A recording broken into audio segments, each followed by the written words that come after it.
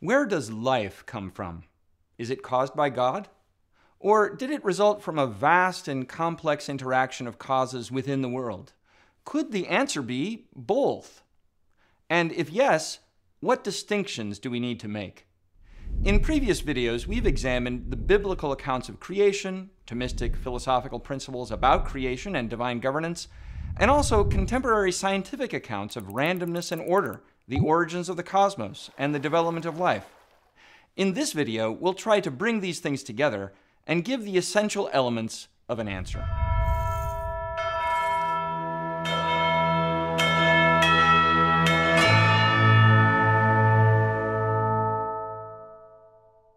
In the scientific order, there's much that we still do not know. For example, precisely how living organisms first came into existence. Did living things arise simply from the interaction of inanimate elements? And if so, how? Scientists, philosophers, and theologians have provided varying answers to these questions. Without entering into all the details, we can say at least that there are good Thomistic reasons to affirm both that life emerged from non living things and that this happened according to God's plan and under the influence of his providential governance of creation. We've already discussed in other videos how St. Thomas Aquinas understands God to be the first cause of all that is, and how he creates all things ex nihilo, from nothing. Likewise, in governing his creation, God is able to bring about the results that he intends through the action and interaction of created things. God is a first cause who acts through secondary causes, including even truly chance or random events. That necessarily means that God is also the first cause of the coming to be of living things. It would be perfectly compatible with Aquinas' principles if scientists were to discover that this could occur or did occur in the distant past through the complex interaction of non living things. Indeed, St. Thomas himself expressly taught that this could happen. For example, he thought that plant life could emerge from non living things when conditions were just right for this to happen. On Aquinas' account, this is because God created the cosmos in the beginning according to his providential plan, with an overarching order that pervades all things and that provides the framework within which occur all of the truly chance events that give rise to living beings. Of course, Aquinas does not think that lower causes or random interactions considered purely by themselves, apart from that wider framework of order, are a sufficient explanation for how higher perfections or higher forms come into existence. And a living thing does have a higher form or a higher principle of internal organization and activity than a non living thing. We call it a soul. Yes, Aquinas does hold that all living things have souls. Trees have souls, and so do dogs, elephants, and human beings.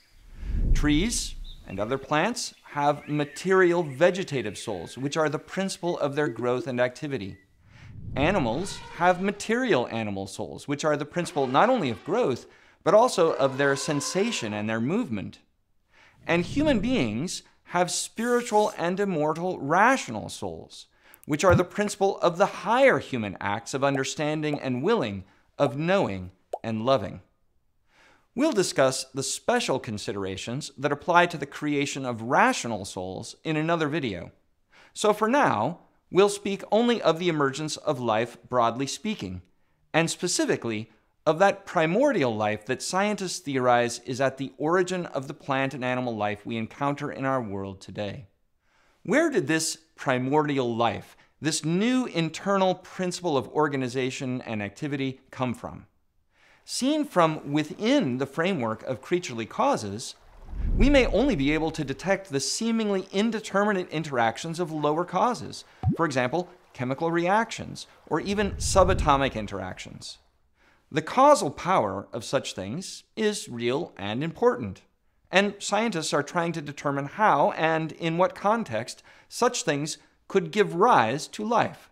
Yet at the same time, when a higher perfection emerges, displaying a new and powerful principle of internal organization and activity, we can be sure that there is a wider framework of order somewhere to be found. This is a development of a point we've discussed in earlier videos. It's possible for order to emerge from seemingly random events.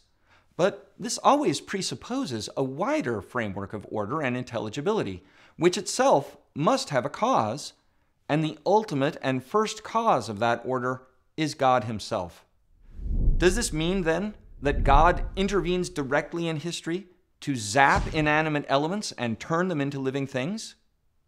While that would, of course, be possible for God to do, Aquinas doesn't think it's necessary to say that that's how life began. Another explanation is possible. God, according to his providential plan, could have created the whole cosmos in such a way that life would eventually emerge from inanimate things. That is, the higher principle of organization and activity that we call life could have already been planned and, as it were, instilled in the order of the cosmos by God from its first beginnings. Classically, this is known as the rationes seminales, or seminal reasons, higher forms created in the beginning by God, but which only unfold to manifest their full extent and power over time as the cosmos develops. This allows us to say both that life can only arise under the influence of a cause higher than inanimate things, and also that this higher cause, ultimately God Himself, could instill into creation at the very beginning of time the order that will eventually blossom into the emergence of living things at a later stage. Or to put it more simply, God can carry out the higher workings of His providential plan through the vastly complex interactions of lower secondary causes. So Aquinas would affirm the possibility that, as contemporary scientists suggest, primordial life may have emerged from non living things after a long and complex process of development and the interaction of elements and forces in our cosmos. And at the same time, he would also say, as can a believing scientist and the whole Christian tradition, that this life comes from God, has its origin in Him, and that it emerges from the order He has instilled in His creation according to His providential plan.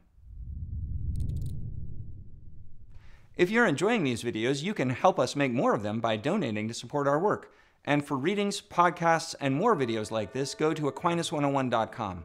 While you're there, be sure to sign up for one of our free video courses on Aquinas, and don't forget to like and share with your friends because it matters what you think.